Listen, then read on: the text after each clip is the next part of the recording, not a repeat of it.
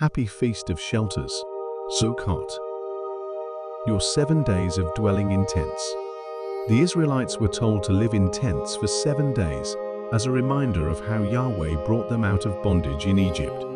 Each year, we are commissioned to do the same, to remove ourselves from the comforts of this life in an effort to acknowledge that every good thing, even the not-so-perfect things we have in this life, are because of Yahweh's goodness. Be reflective over the next seven days, thanking Him for His mighty acts in 2024. And rejoice knowing that even the difficult times must end.